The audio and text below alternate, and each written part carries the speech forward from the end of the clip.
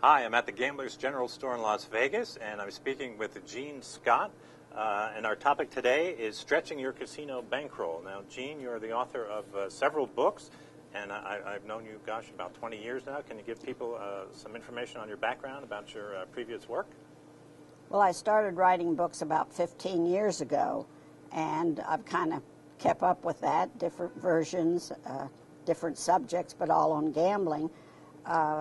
Recently, I just finished my last book, or at least the last one I've written so far, and uh, I felt compelled to write it because things are changing so much in the casino. Some of the things I wrote about, wrote about, and talked about in the past, people thought, we can't do what you did 15, 20, 25 years ago, and that's true. So I wanted to help people learn how to do better in the casino, how to stretch their casino bankroll in today's environment. Okay, now you started with uh, your first book was uh, Frugal Gambler, and then you had uh, more Frugal Gambling, and now your new book is Frugal Ga- Frugal Gambler Casino Guide. So your emphasis now is on how to lose less as opposed to how to be a, a uh, an advantage gambler. That's true. It's very difficult to beat the casinos these days. It was easier back in the old days, as I, I usually call them, the good old days. Actually, I wrote those two books. I also wrote a book on frugal video uh, called Frugal Video Poker, which was specifically on one game because that was the game we played. And I felt the need to cover all the casino games in a casino because not everybody wants to play video poker. There are so many other games. And the main emphasis is any game you find in a casino if you learn a little bit more about it, you can lose less. Okay, now, now every game in a casino is based on math, where the, where the casino has a mathematical advantage over the players. Now, do you have to be good at math to, uh, uh, uh, to play all these games? That's a question that people ask me all the time. I'm not a math person. Well, if you've listened to me or read my stuff, you realize that was I a math mathematician before I started gambling. No, I was an English teacher. And math is not one of my strongest subjects or areas. I'm pretty good at reading other people's math that have figured it out and using it. So, no, you do not have to be a genius, a math genius, to do better in the casino. So, what I want to do is, I want to give you some ideas on being a, just an ordinary recreational player. You want to have fun in the casino. Your goal is to be entertained, not to make money. You hope to make money, you hope to hit jackpots, but in the meantime, you want to be entertained, have fun. So, I want to first give you some ideas where you can lose less money or make the money you have last longer with some no brainer things. You don't have to know even first grade math. Okay, well, what, what are some uh, good examples that you can give us? All right. Two concepts here go down in denomination and play slower. Now, some examples of that, of going down in denomination. Let's say you're playing blackjack. You have a choice often of playing green chips, $25, or red chips, that's a $5 chip. Now, it doesn't take a mathematician to realize that you're going to lose less in an hour playing red chips than green chips. Well, you say, I'm not going to win as much. Let's go back to another basic concept the casino for most people has an edge over every player, no matter what game you play. So you want to be, you're fighting that edge all the time. So if you put less money down, you're putting less money at risk and you're going to lose less. Your money's going to last longer. That's going down in denomination. Same way for slots. If you play dollar slots, you're going to lose a little over $50 an hour playing dollar slots. For one thing, it's a fast game. If you go down to quarter slots, your average loss is going to be about $20 or more an hour. Well, it doesn't take a mathematician to realize that if you go down in denomination, you will be fighting the casino edge with less money. The second thing is you need to play slower, put less money at risk. An example of that is you go to a blackjack table and you you see it's really crowded. Jump in there if there's a seat open because you're going to play fewer hands and when you're playing fewer hands, you have less money at risk. You go and play heads up with the dealer, you're losing money fast, fast, fast. Now, for me, years ago, I used to play blackjack, but, but, but I found that, and I was not a high level player, but I found that the counts are not very good. I always found that it was much better to play video poker. So, so you think video, uh, or, or I guess slot machines, but you lose too much on slot machines. All right. Well, I'm going to talk about I'm going to talk about individual games a little later with you. Uh, but before we do that, I want to talk about what things you can do that are not the no brainers that I just gave you, that take a little bit of effort. You don't have to be a mathematician, but you have to put forth a little bit of effort. And that is look for ways to find extras. I love the word extras. That means you're getting things that are extra to the game. Now, the obvious first choice there is to join the slot club. Now, not all slot clubs are equal. Some, a few these days, give you point. You get points, and you can turn those in for cash. That's extra cash, besides whatever you win or lose on the game.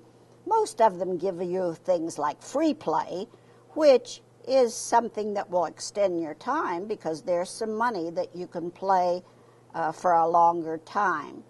Then there are extras that the casino offer, like tournaments, uh, drawings, special days where you have extra points given. I want to talk a little bit about tournaments because this is a really good way in Vegas and in some other places also.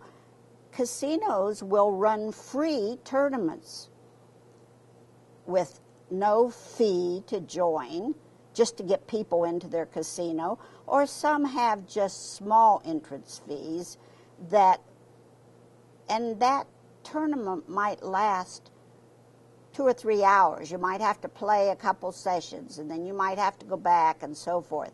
That's a really good time saver because once you either have the free tournament or just a small amount uh, of entrance fee, then you're putting in time to absorb the fun atmosphere of the casino with a chance to win a, a jackpot, win something, and you're not putting any extra money at risk. So I really like those tournaments. For locals, uh, in lots of places, the poker room sometimes runs small tournaments, uh, maybe with a small entrance fee, but they maybe last for an hour, two hours, three hours. That's another way to stretch your bankroll because it takes up time. Um, coupons are another way to do ext- get extras because the one time that you're not fighting the casino edge is when you use coupons. Now, I've talked a lot about this. In fact, I used to be called the queen of coupons before I was the queen of comps. And you don't win every time you lose a, you use a coupon. But if you use enough coupons, one of the most fun things we've ever done down through the years, and we still do that, particularly if we have family or friends come in, is we go on coupon runs. We run all over the city laughing and, and playing whatever coupon we have. And if you play in almost all circumstances, if you play long enough, you have enough people or you play enough time, you're going to have an advantage over the casino. So it's definitely an extra. It's extra money that you might earn above the game, and also it's a time. It's a time that you're not playing when the casino has the edge. So it's like there's two ways. You're down in denomination and you're up in time spent. The, uh, a lot of people don't understand that, that if you can use those gambling coupons, yes, you, you do have a mathematical edge over the uh, over the casino. And I have in my past years, I, I did coupon runs myself, and I don't think we ever lost money when we are using gambling coupons. Now, now those are sort of simple ideas, but, but what, what about some other ideas that people can use that might take a little more extra effort above and beyond uh, the simpler ones? Okay, now here comes the nitty gritty. If you never want to study, you never want to think, you're, you're always going to, the, the casino's after you. You're the kind of player that they want. They want dumb players. So if you want the casino's edge not to be so great, you can study every game in the casino, and then there's ways that you can, in fact, in this new book I just wrote, that's one chapter I call the smorgasbord of casino games. I talk about every single game in a casino and then put how you can lose less on each one of those games. I even have hints on how you can lose less at Casino War or the Big Wheel. You know, those are noted to be real bad bets, uh, and the casino makes a lot of money. So here's some of the ways that I have covered in the book, and I want to share with my fans that want to be frugal, but they don't want to necessarily go to gambling school and learn all the ins and outs. The first way, there are a bunch of games that you, if you just learn a better strategy. Now, some of these, the strategies are pretty simple, like Let It Ride, three card poker, Car- Caribbean stud. Um, there are just a few simple strategies that will reduce your losses. Whenever you reduce losses, you are extending your bankroll. Then, if you want to take it a step further, there's blackjack and there's video poker, both of which takes a lot more study. But even if you do a little study on those, learn basic strategies for things, you're going to reduce your losses. So look for games that where you can do a better strategy. Then there are a lot of games where you just need to choose better bets within the game. Craps is a good example because there are, I have not counted how many different ways you can bet on the crap table. Uh, there are either even some bets that people make up, and there's no on the layout. There's no place to put that, but you can call it out to the dealer and so forth. It's a pretty complex game. But all these exotic bets in craps, you will lose so much more than if you learn which bets just have a small edge. That's what I tell my son. Now, my, my son loves to play craps, and he loves these all tall, small bets at the top of the table. And I tell him all the time, Matt, you stop making those bets. And you know what he does? he keeps making those bets. Well, he, he, he, likes it. Some people like to gamble, you know. Yeah. What can you do? Well, I'm not telling anybody what they have to do. I've been, I've been accused of that. You want to turn everybody into video poker players. Mm-hmm. No, I've got beyond that now because I realize, I realize that not everybody is looking for the best math advantage. They're looking for fun. But I'm just trying to say, Matt or anybody else, you can have all the fun at the crap table and stick with those, you know, just place a bet and, and uh, frontline bet and so forth. You can yell and scream with the whole table.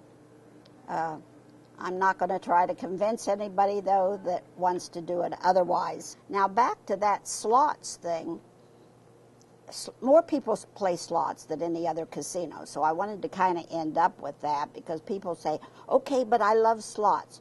All right, play slots, play the very lowest you can. Recently, my family was in town, and they love to play slots. So I know you my public won't believe this, but they saw us playing slots for hours on end at different casinos, playing slots with my family.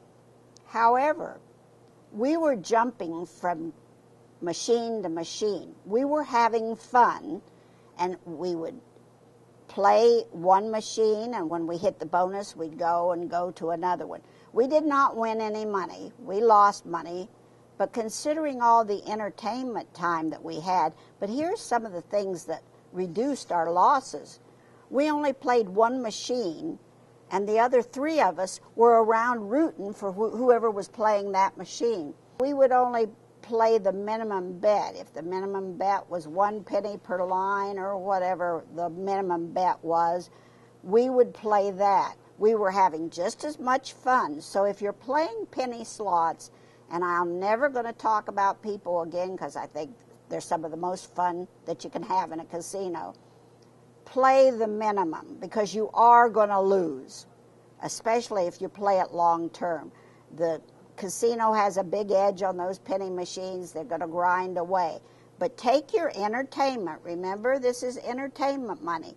If you go play golf and, and spend a whole lot of join a, a golf club, country club, you're going to spend money, you know, so it's all right. Go to the casino with your entertainment money. Don't expect to win, but try to increase your time as much as you can. And go low. In fact, go low and go slow. That's what Anthony Curtis always says. The lowest denomination, go low and go slow. Take up as much time as you can for your so you're not fighting the casino edge. All right, that's all very good advice. And uh, it's all in your new book, The Frugal Gambler Casino Guide. If people want to get more information on the book or, or you and your background and your writing, where can they do that?